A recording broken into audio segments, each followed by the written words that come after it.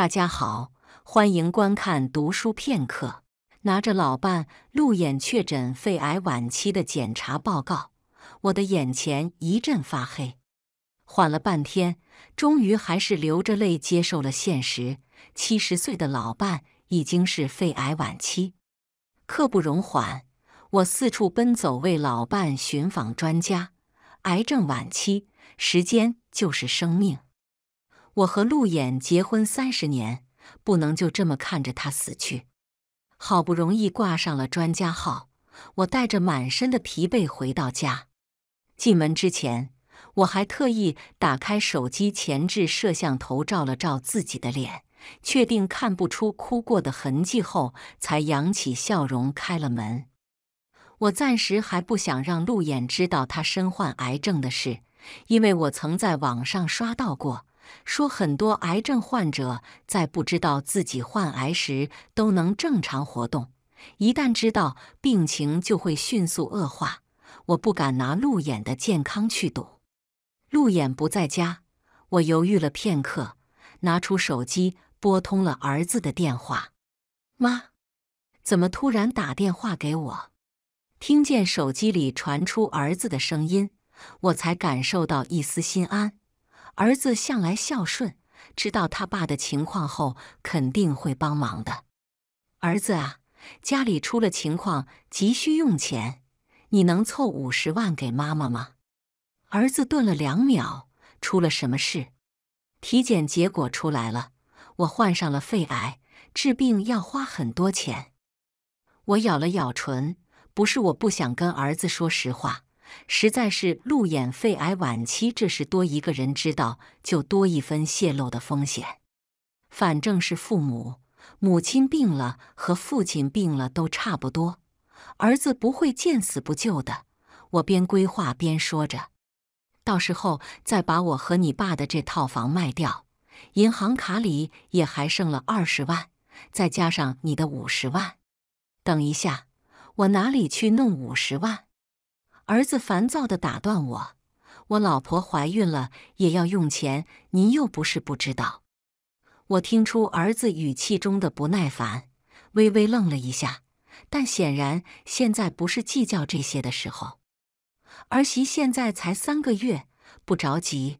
你结婚时，我和你爸不是帮你买了一套婚房吗？虽然房价跌了，但也能买个一百万。什么？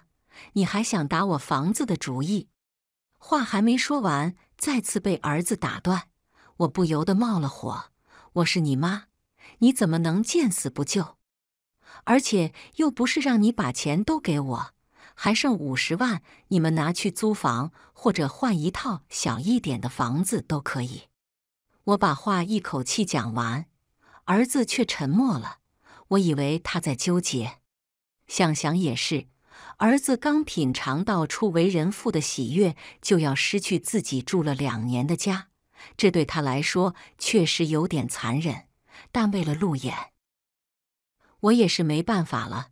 大不了等路演病情稳定了，我去找份保洁的工作，帮衬儿子一家。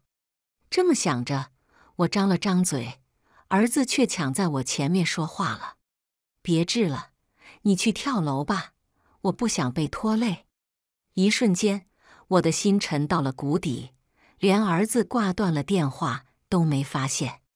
今天一天发生的事压得我几乎喘不过气来，直到翻遍了家也没找出房本，查询到银行卡里余额为零时，我终于忍不住坐在沙发上崩溃大哭。陆演，我该拿什么救你呀？不知道哭了多久。陆岩满面春风的回来，看见我样子，吓了一跳。怎么了，老婆？他拿起纸巾为我擦拭泪水。好了，别哭了，都六十多岁的人了，还哭得跟个小花猫似的。在他的安慰下，我渐渐止住了泪水，拿起手中的存折递给他。银行卡里的钱不见了，还有家里的房本，你动了吗？原本预备给陆演治疗的钱忽然没了，现在我只能寄希望于陆演早知道了自己的体检结果，自己把钱取出来了。陆岩眼中飞快地闪过一丝心虚，怎么了？我像是抓住救命稻草一样，猛地握住他的手。你真的动了？还没呢。在我另一张银行卡里，我一个朋友着急买房，我想借点钱给他。陆眼把手僵硬的从我手中抽走，我猛地意识到不对劲。你借钱动银行卡就算了，动房本干嘛？你要卖房借钱给人家？话音刚落，陆眼的脸色瞬间变了，眉头蹙起。你这是什么语气？房本写的是我名字。钱是我自己赚的，就连你都是我养的，我自己决定自己的钱怎么支配，有什么问题？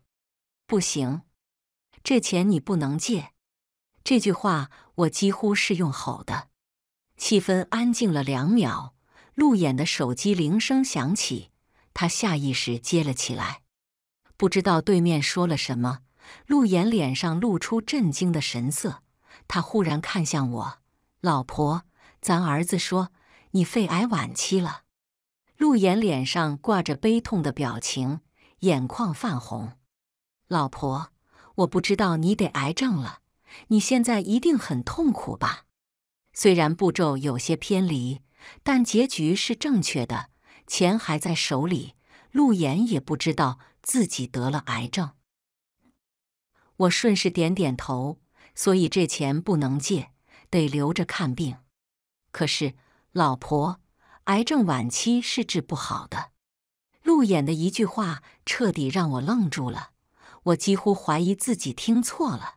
男生问道：“什么？”陆演叹了一口气：“与其把所有的钱都拿给你治病，到时候人财两空，不如把钱留给更有需要的人。瑶瑶比你更需要这笔钱。”等你死了，我还能拿到一笔保险金，以后我们可以活得很好。瑶瑶，孙瑶，我捕捉到他话里提到的名字，孙瑶，路演的白月光。虽然是路演的白月光，但也只是路演单方面的喜欢他。和我结婚后，为了让我放心，路演十分主动的跟孙瑶断了联系，一断就是三十年。而且孙瑶似乎并不喜欢陆演，他甚至参加了我们的婚礼。婚礼上，我们还互加了好友。他是个自由洒脱的人，一生未婚。我经常刷到他在世界各地旅游的照片。他在朋友圈里说，走遍全世界是他一生的梦想。甚至十天前，他还在澳大利亚旅游。三十年前，他们都没在一起。这都三十年过去了，又怎么可能发展出不正当关系？陆岩只是在开玩笑吓我吧？我下意识不想相信，却在下一秒啪啪打脸。只听陆岩说：“没错，宋如初，既然你都要死了，那我也就不瞒你了。”陆岩缓缓开口：“瑶瑶这次回来跟我说，她上了年纪，走不动了，想定居下来。”如果我能给她买套房，她就愿意跟我在一起。你疯了吗？我的眼泪瞬间决堤，质问他。虽然我知道自己患癌是假的，但陆眼不知道啊。所以他是真的想在我癌症时放弃救我，拿着救命钱给白月光买房。我眼前的陆眼如此陌生。跟我东奔西走，四处求爷爷告奶奶，想要救的与我相守三十年的丈夫陆衍似乎没有任何关系，但他们的的确确是一个人。这三十年来，是我看错了人。陆衍满不在乎，掏出手机，低头一边操作一边说：“咱们这么多年夫妻，你也不希望我人财两空吧？反正你都快死了。”我总得找个人陪着我。瑶瑶只要一套房，不过是你少活几天的事而已。说到最后，陆岩可能也觉得自己说的不是人话，眼底闪过转瞬即逝的愧疚，却又瞬间坚定。初初，你知道孙瑶对我有多重要，他想要什么，我都会给他。说完，他又把手机举给我看，现在咱家是真的没钱了，你断了治病的念想，好好待在家里吧。页面上是银行发来的短信提示：转账成功。陆岩把所有的钱，包括我们住的这套房子卖出去的钱，一共一百五十万，都转到孙瑶那里了。哦，对了，这房子虽然卖给别人了，但三个月后才交房，你还可以继续住在这。你别怪我，我对你已经仁至义尽了。他一脸幸福的幻想。到时候你的保险金到账，我就能给瑶瑶买套别墅了。我终于彻底死心。我的老伴七十岁了，还在做白月光的舔狗，这我还能说什么呢？对陆演彻底死心后，我突然觉得累了。肺癌晚期的陆演能不能妥善得到治疗，我忽然不在意了。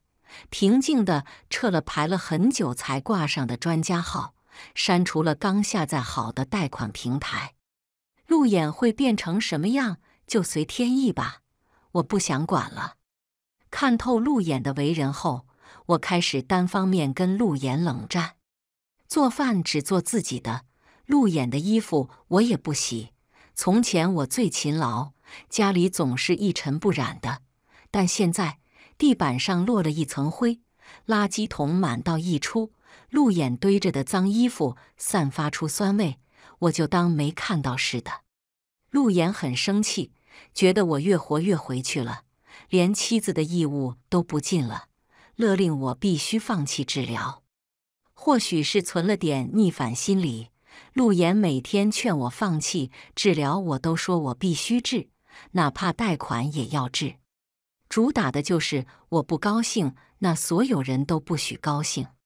陆衍真怕我贷款，到时候死了还给他留一笔债，赶紧叫来了儿子给我做思想工作。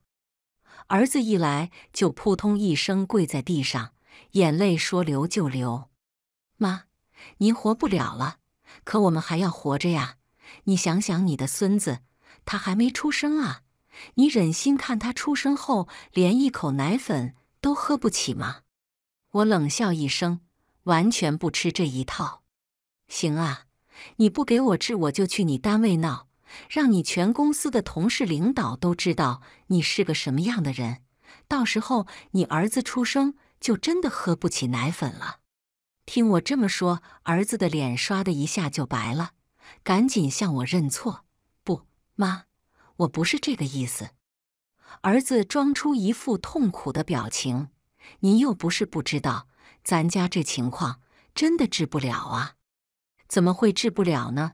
家里又不是没钱，只不过是陆岩把所有的钱都给了孙瑶罢了。行了，陆衍义正辞严地看向我，满眼凉薄。做人不能这么自私，你也要为家人想一想，放弃治疗。对我们都好，那你的意思，如果得癌症的是你，你能随便找个楼跳了，绝不拖累我是吗？我分毫不让的直视陆眼的眼睛，锐利目光逼得他很难堪。他眼神躲闪，却还是将矛头继续对准我。当然了，我又不像你那么自私，怎么可能自己快死了还拖累别人呢？我若有所思，点点头。就在他们以为我终于肯放弃治疗时，笑了笑。但我不想死，所以还是治吧。见我油盐不进，儿子起风了，猛地站起身，狠狠踹了一脚桌子。死老太婆，不可理喻！陆岩脸色也不好，我真是看错你了。我知道他们想憋一招大的哟。但第二天出门的时候，还是被单元楼门口的场面吓了一跳。只见门口聚集着五六个举着长枪短炮的记者，一个身形臃肿的女人正跪在镜头前，声泪俱下的哭诉：“求求广大网友帮帮我，我实在是没办法了。我婆婆得了肺癌晚期，却逼我老公卖房给她凑钱。”我们一家都快被婆婆拖垮了，我现在还怀着孕，真的不知道该怎么办了。我可怜的孩子啊，还没出生就被亲奶奶拖累，以后的日子可要怎么过呀？真的不是我们心狠呐，婆婆平时就是个很刻薄的人，对我和我老公都不好。小事上我们忍让一下就算了，但婆婆现在居然连活路都不想给我们留，这是要逼死我们一家呀！单元楼门口路过的人不少，儿媳这番哭诉很快吸引了不少人。见我出来。记者们瞬间像是饿狼看到肉似的围过来，为了活着像血吸虫一样扒着家人吸血。请问您不会觉得愧疚吗？您平时苛责儿子一家，关键时候又逼儿子卖房救你，你都良心不会痛吗？儿媳风风火火跑到我面前跪下：“妈，你就放我们一家一条活路吧。”周围的人指指点点，陆衍像从楼道里走出来，抱住我，哭得撕心裂肺。老婆，咱们不治了，乖，咱们不治了。看到这里，我还有什么不明白？他们找来一堆人，将莫须有的罪名扣在我身上，就是为了道德绑架我，放弃治疗。心脏发凉，我做梦都没想到陆衍和儿子会这么对我。如果没有这场误会，我就真的被蒙在鼓里。还好，要死的人不是我。闭了闭眼，再睁开时，我冷漠地推开陆眼。不想给我治病，那给我十万总行了吧？陆眼一脸疑惑的表情，不明白我为何转变的这么快。我笑了笑，我这一辈子都困在家里，临死前想出去看看祖国的大好河山。也不行吗？陆衍一脸便秘，很不情愿。那也用不了十万。你怕什么？反正赔付的保险金有一百万，你不会亏的。看着蠢蠢欲动的记者，他脸色一变：“你说什么呢，老婆？你想出去走走，我当然支持你呀，跟保险金没有关系。”陆衍把孙瑶带回家了。打开门就看到她穿着一身素白裙子坐在沙发上。孙瑶比陆衍小两岁，今年六十八了。但或许是满世界旅游，又没有生活的顾虑，她看上去格外年轻，只有四五十岁的样子，昂着头像只高贵的白天鹅。反观坐在他身边的陆衍，奴颜婢膝，活脱脱一只老年版舔狗。孙瑶轻蔑地看了眼走进来的我，宋如初，听说你找陆衍要十万出去旅游，我语气冷淡，关你什么事？你难道不知道陆衍把钱全都给我了吗？孙瑶淡淡一笑，高傲地扬了扬下巴，知道。我点头，但那是婚内财产，只要我不同意，是可以追回的。话说完。先急的不是孙瑶，而是陆衍。他像骑士一般挡在孙瑶面前，冲我吼道：“不是都答应你的要求了吗？宋如初，你发什么疯？结婚三十年，他从未对我表现出如此的维护。我原以为我们之间是细水长流的爱情，没想到真相是我根本不值得他上心。”被维护的孙瑶摆弄着自己保养的细腻光滑的手指，又看向我因为常年家务黝黑的满是褶皱的手。她高高在上，在家当了三十年家庭主妇，你怕是连试都没出过几回吧？你看过北极绚烂的极光吗？追过璀璨的流星雨吗？知道在珠穆朗玛峰上俯瞰世界的感觉吗？不会只是东施效颦，想在临死之前挽回丈夫的心意吧？站到陆衍身侧，孙瑶轻轻牵起他的手，又在他满眼惊喜中陡然松开，看着我的眼神中带着得意。看到了吗？你渴求一生的东西，我轻而易举就能得到。陆衍深情地站在孙瑶身侧，瑶瑶，我会一直等你的。然而，对于这些，我早就能够无动于衷。所以说了这么多，钱呢？早在陆衍和儿子让我去死的时候，我就想清楚了。爱情和亲情确实是我人生中很重要的一部分，但永远不可能重于我自己。从此以后，我只爱自己。孙瑶咬了咬唇，不甘心地继续加码：“你还不知道陆衍这么多年瞒着你什么吧？”听到这话，陆衍脸色一变，朝孙瑶看了一眼。孙瑶递给他一个安心的眼神，继续说道：“你知道为什么我总在世界各地旅游，还没有后顾之忧吗？”孙瑶朋友圈旅行的照片里，他永远住着最好的酒店，吃最贵的餐厅，就算渡海登山，也总聘请最专业的人员跟随，随便哪一项都是一笔不小的支出。我原以为他是富二代。现在看来不是，我的眼神一向满脸心虚的路演。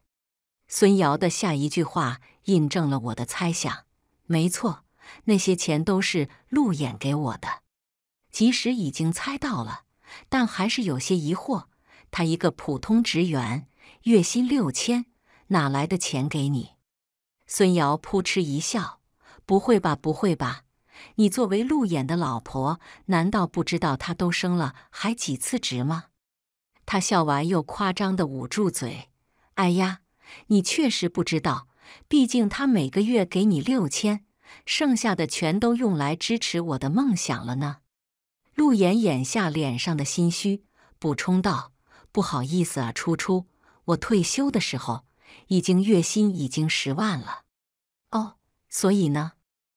我看着一脸错愕的陆衍和孙瑶，突然觉得好笑。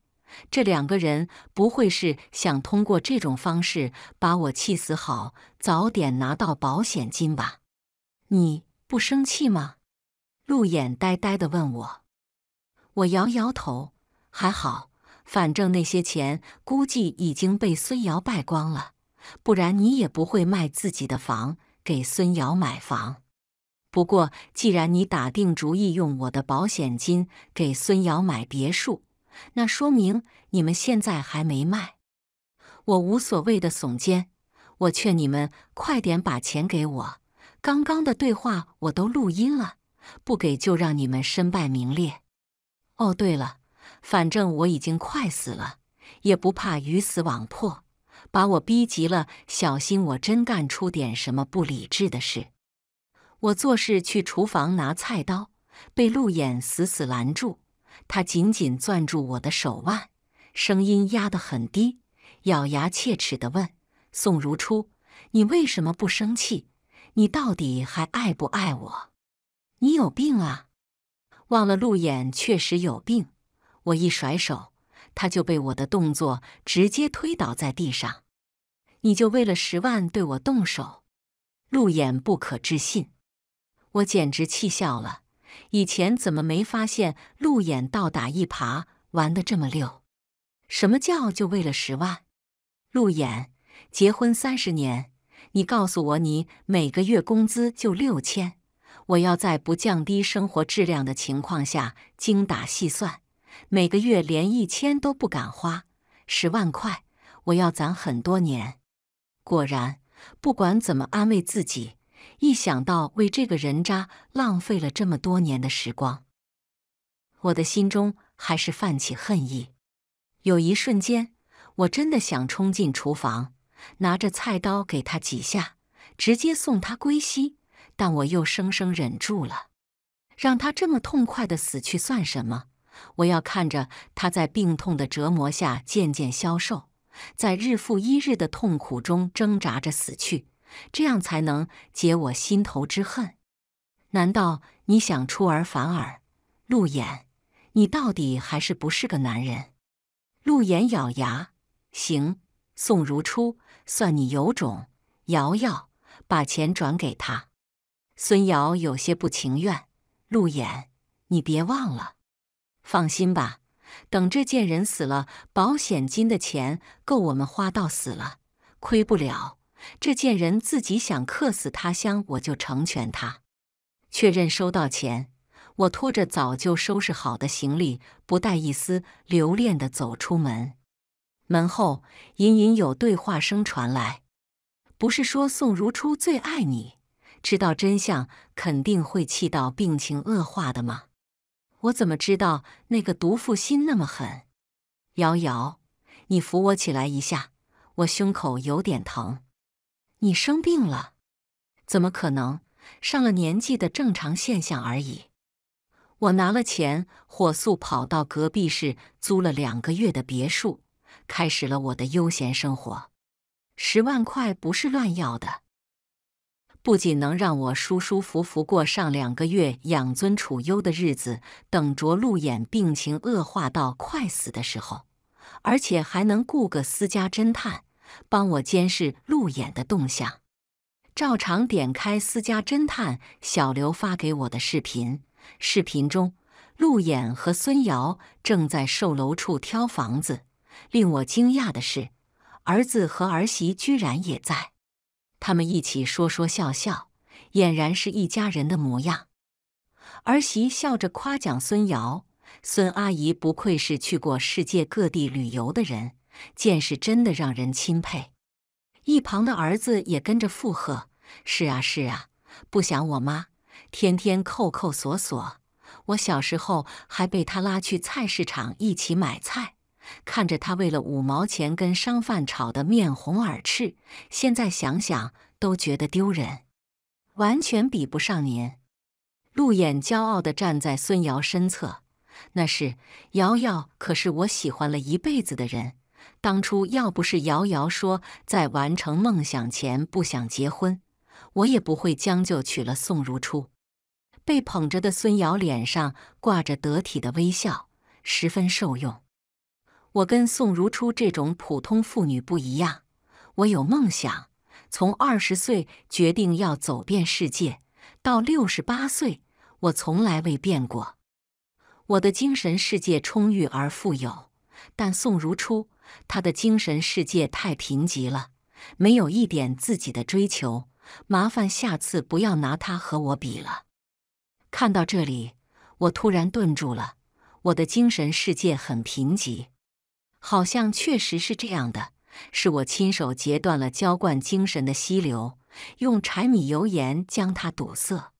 嫁给陆眼前，其实我是有梦想的。我热爱写作，梦想成为作家。后来我三十五岁了，还没结婚。家里人就开始给我安排相亲，于是就遇见了四十岁的陆衍。我问陆衍为什么四十了还没结婚，陆衍说他在等一个合适的人。后来我们的相处渐渐多了，感情也逐渐升温，我们顺理成章的在一起。我理所当然以为他口中对的人是我。我们结婚一年就生下了儿子。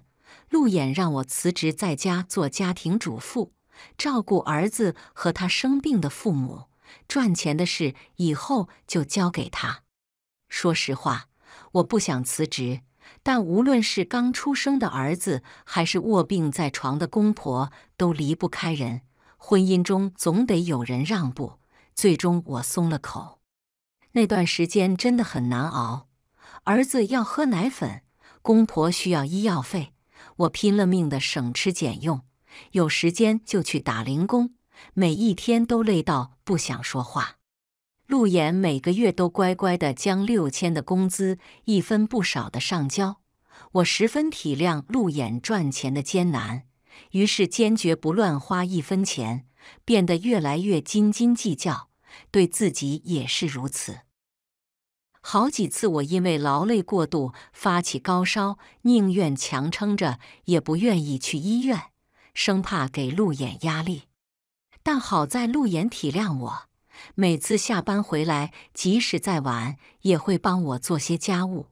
我生病硬抗被他发现，他都匆匆拉着我去医院，一脸心疼地看着我打点滴的手，言语间尽是感谢我对他的付出。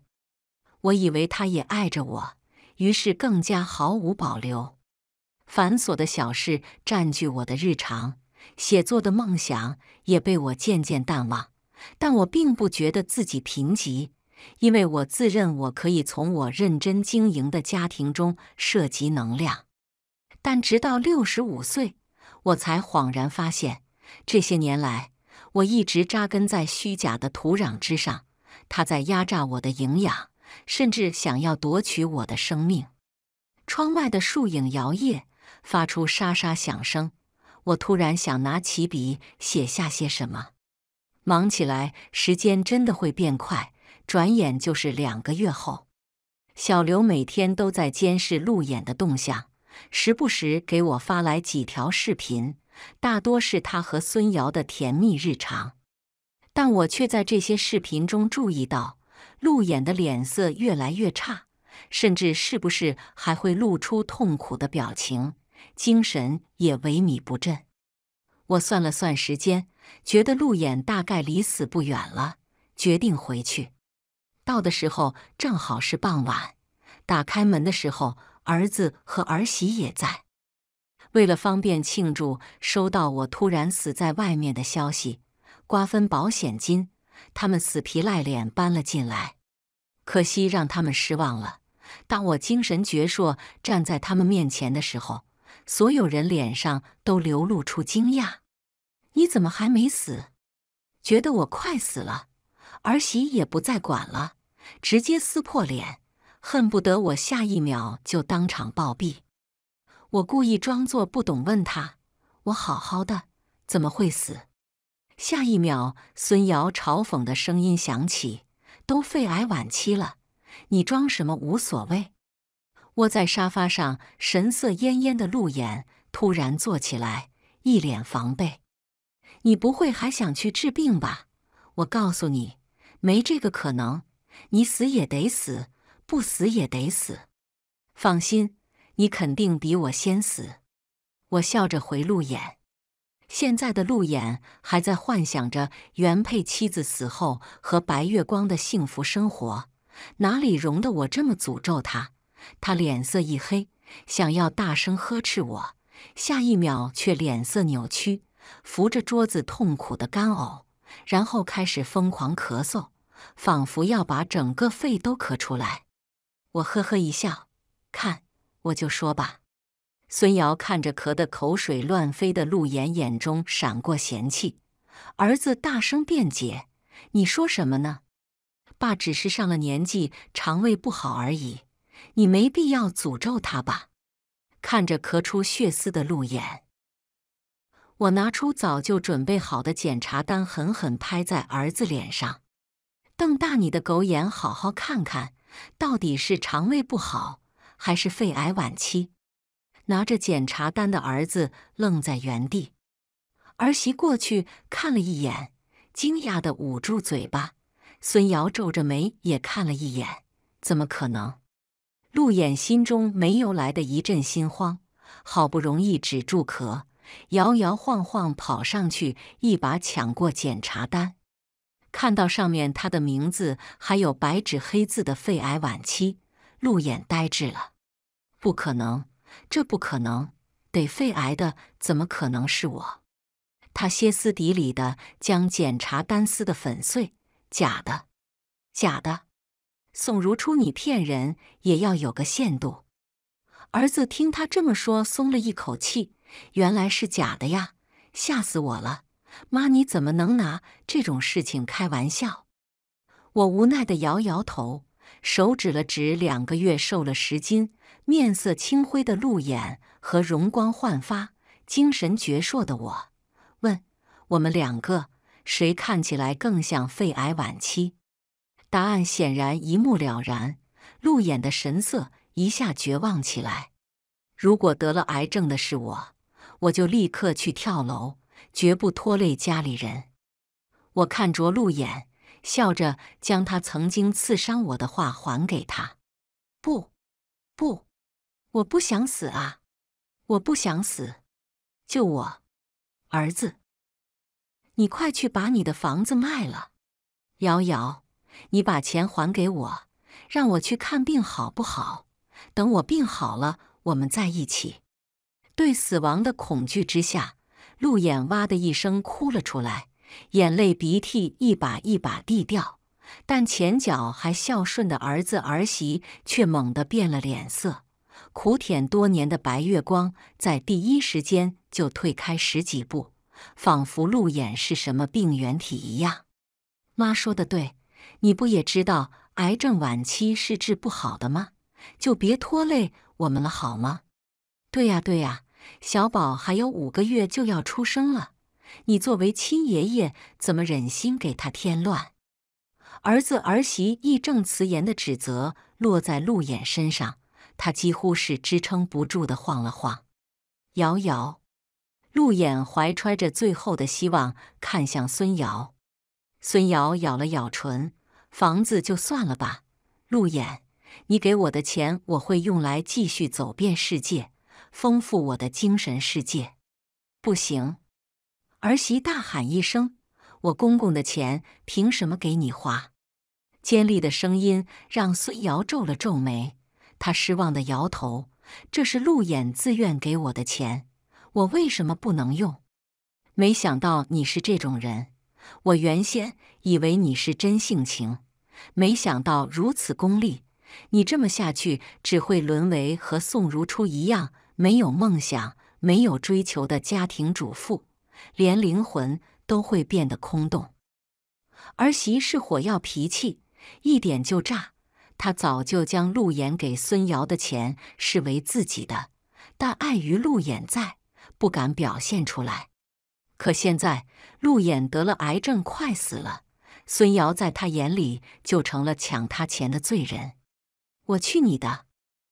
我再怎么着也总比你这条一辈子都扒在别人家庭上吸血的水蛭要好。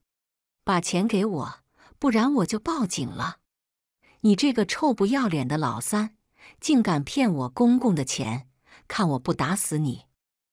儿媳的巴掌直接朝孙瑶脸上招呼过去。孙瑶没料到儿媳会动手，脸被打得一歪。你竟然敢打我！孙瑶不可置信地看着儿媳，打的就是你，怎么着？别吵了，闭嘴！都给我闭嘴！陆眼被烦得太阳穴突突直跳，哽着一口气大喊，刚喊完就两眼一翻晕了。遗产还没交代呢，救护车！快叫救护车！儿子赶紧拨打幺二零。救护车匆匆赶来，医护人员冲上来，把陆眼放到担架上抬走。怕孙瑶偷偷跑了，儿媳拽着他跟医护人员一块下楼。儿子走在最后，走前回头看了我一眼，搓了搓手：“妈，之前我跟您说的话，您别在意。我心直口快，你又不是不知道。您要跟我一起去医院吗？”我拒绝了。儿子转身飞速离开，生怕下一秒赶不上遗产。可惜陆衍最终没死。第二天我去医院落井下石，还没靠近病房，就听见了争吵。臭贱人，你想去哪？钱呢？医院走廊上，儿媳拦住孙瑶。儿媳嗓门大，周围的人都看过来，孙瑶的脸一下黑了。什么钱？我没钱。你有没有礼貌？我一把年纪被你拽出个好歹来，你负得起责任吗？孙瑶想倚老卖老，但儿媳压根不吃这一套，直接上手扯孙瑶的头发，在孙瑶的尖叫声中大声地说：“我去你的！老娘还是孕妇呢，出个好歹，你负得起责任吗？告诉你。”今天不把钱吐出来，你就别想走。围观的人越来越多，有人想来劝架，儿媳赶紧又是一嗓子：“哎呦，快来看看呐！这个老三勾引我公公，破坏我公公的家庭。现在我公公病了，他连我公公的救命钱都要昧下，丧良心啊！”想劝架的人犹豫了，转身去通知保安。孙瑶气得都快发疯了。虽然他老了，但年轻时跑来跑去，力气也不小。一发狠就把儿媳推倒了，肚子撞在走廊的铁椅子上，身下瞬间有鲜血流出。啊！孙瑶还没来得及喘口气，刚回神就被一股大力踹了出去。儿子不知何时过来了，操！老子的儿子出事了，老子弄死你！头磕到墙上的孙瑶没力气反抗，儿子又不解气的往他肚子上猛踹几脚，这才抱着疼得哎呦叫唤的儿媳去找医生。慌乱的闹剧谢幕，我走进陆衍的病房，他面色灰败，躺在床上，看见我，眼睛亮了亮。初初，你终于来看我了。我就知道，你心里还是有我的。我笑了笑，我是来落井下石的。陆衍，看到你现在死气沉沉躺在这里，我真的很开心。陆衍瞪大了双眼，你变了，你以前不是这样的。我坐在了陆衍床前的椅子上，问他：“那在你眼中，我应该是什么样？一个任劳任怨的保姆？”免费的生育机器，还是能在死后让你拿到天价保险金的提款机？不，不是这样的。以前都是我鬼迷心窍，我错了。浑浊的泪水顺着他的脸落下，渗进皱纹里。但我知道，他后悔不是因为欺骗了我，而是他现在没钱化疗，只能躺在病床上等死。陆衍，你挺懦弱的。四十岁的时候，你害怕得不到孙瑶完不成娶妻生子的目标，于是欺骗了我。四十岁到七十岁，你为了继续当舔狗，把钱给了孙瑶，可耻的让我为你兜底。七十岁，你终于勇敢一回，让我去死给孙瑶腾位置。我顿了顿，看着陆岩满是泪水的双眼，一字一句地说：“所有路演。”现在的一切都是你应得的。陆衍的嘴唇嗫嚅，手指控制不住的发颤，却说不出一句反驳的话。抖了半天，只说出来四个字：“救我！”初初，不救。儿媳的孩子最后还是没保住，儿子也被警察带走了，因为儿子踹孙瑶的那几脚，直接把孙瑶踹进了 ICU。听到这个消息，我松了口气。孙瑶没死就好，并不是我关心孙瑶，而是陆衍这么多年给孙瑶的钱还没要回来。虽然现在孙瑶手上只有一百多万，但没关系，等陆衍死了，他就有钱还我了。陆衍舔狗成魔，给自己也买了一份保险，受益人填的孙瑶。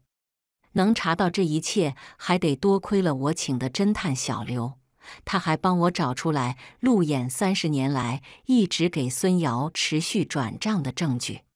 三十年的婚姻，我不能只得到欺骗，没有爱，那至少给我点钱吧。我将这一切都打包给律师，就等陆衍死了打官司要钱。为了让陆衍早点死。我天天准时准点跑到他的病房气他。儿子因为故意伤人进了监狱，判决书下来那天，儿媳果断和他离婚去了别的城市。孙瑶还在 ICU 里躺着。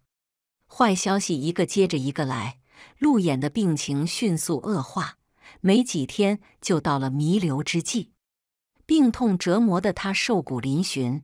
他像是一具骷髅一般躺在病床上，连说话的力气都没有。初初，初初，对不起。他耳朵也不好，为了确保他能听到，我特意用洪亮的声音，一字一句清晰地说道：“我不接受你的道歉。”我清楚地看见他痛苦地咽下最后一口气。他不舒服，那我就舒服了。陆衍的骨灰被我用塑料袋装着，扔进了垃圾桶里。我始终认为，垃圾就该待在垃圾桶里，而不是出来祸害人。另外，比较意外的是，儿子进监狱没多久就传来了死讯，他和狱友发生冲突，被打死了。我想了想，把他的骨灰和路演的扔进了一个垃圾桶。孙瑶身体刚恢复一些，就被我拉到法院打官司，全身的家当，包括刚拿到的路演的保险金，都判给了我。没多久，他就死了，被气死的。他从年轻到老去，像水蛭一样吸取别人的鲜血，供养着自己的梦想，还自诩高人一等。他看不上路演。如果不是陆岩傻到可以无怨无悔被吸血几十年，他甚至都不会记得这号人。但现在的他可没有一个像陆演一样的舔狗可以吸血了，骤然失去一切，又刚从 ICU 出来，身体还没好全，气得太狠，一不小心把自己气死了。钱拿到手，也算是给我三十年的婚姻一个交代。事情都解决之后，我开始重新拾起写作。做的第一件事就是将我这三十年的经历改编成小说。文字是有力量的，我想用我的经历告诉更多的女性：先学会爱自己，其次才是爱别人。小说出版后受到了广泛的欢迎，我也成了一个小有名气的作家，终于完成了年轻时的梦想。这部小说的盈利也被我全部捐给慈善机构，用于救助那些身患疾病却被家人抛弃的女性。最近，我又开始构思起一本新的小说，是一个关于高龄女性毅然与出轨丈夫划清界限的故事。我想告诉所有的女性，无论何时，我们都要有高飞的勇气。阴霾之上。必有属于我们的一片天空，届时阳光灿烂，